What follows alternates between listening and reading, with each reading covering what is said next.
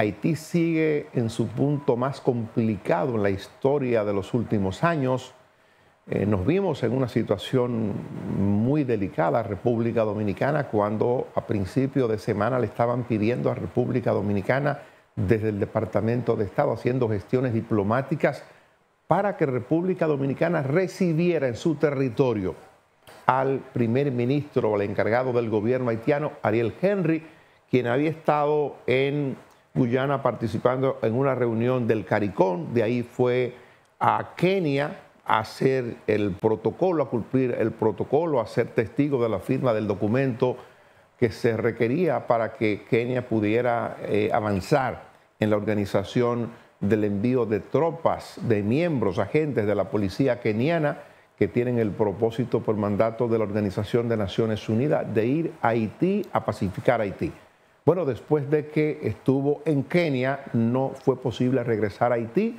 Las bandas se oponían, tenían el control, tirotearon en varias oportunidades el aeropuerto internacional Toussaint Louverture de Puerto Príncipe y se han producido muertes, enfrentamientos con agentes de la policía y todo lo que conocemos. No se le ha permitido el ingreso, se declaró estado de sitio en Haití hasta el pasado eh, miércoles y luego se ha extendido esto por un periodo de un mes y no sabemos cómo termine.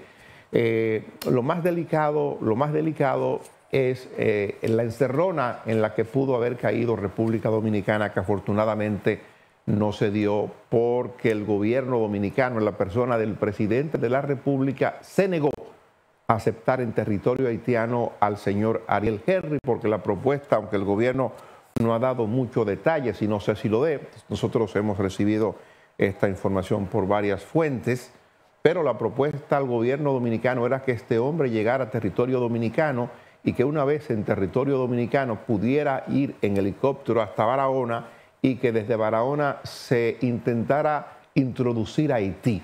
Esto obvio que le daba una participación, un protagonismo al gobierno y a la República Dominicana en la crisis haitiana que en nada convenía a Haití. Los reportes que hemos recibido de los medios sociales, eh, Alexander Galvez, un periodista que ocasionalmente nos reporta sobre la situación de su país, indican que en Haití los medios sociales, y algunos dirigentes políticos han destacado la buena decisión del gobierno dominicano de no permitir en territorio dominicano el presidente Ariel Henry. Todo el mundo sabe lo que esto podía provocar con este hombre en esta parte de la frontera, con la sospecha de que la República Dominicana estaba tratando de introducir al presidente Ariel Henry en Haití.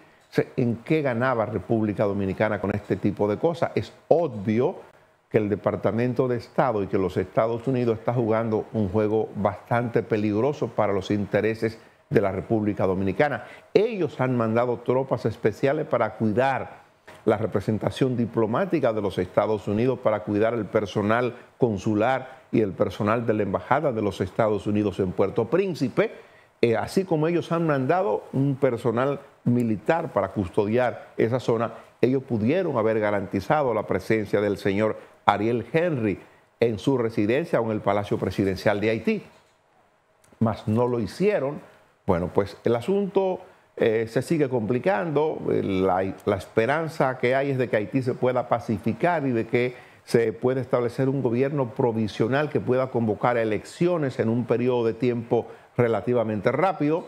Hay quienes piensan que esto no puede ocurrir mientras no se logre la pacificación de Haití, mientras los organismos internacionales o Naciones Unidas, básicamente Naciones Unidas a través del Consejo de Seguridad, logren establecer una fuerza que pacifique a Haití que se respete un gobierno provisional que se establezca y que este gobierno pudiera o esté en condiciones de convocar a elecciones en el país para establecer ya un régimen legítimo. Allí se vencieron todos los plazos, no hay Congreso, no hay Poder Ejecutivo, no hay primer ministro, no hay presidente, de modo que la situación es sumamente complicada. los ciudadanos haitianos han estado huyendo de las manifestaciones que se están produciendo allí, esas imágenes que se están divulgando, personas con, sus ajuares en la cabeza, moviéndose de un sitio para otro.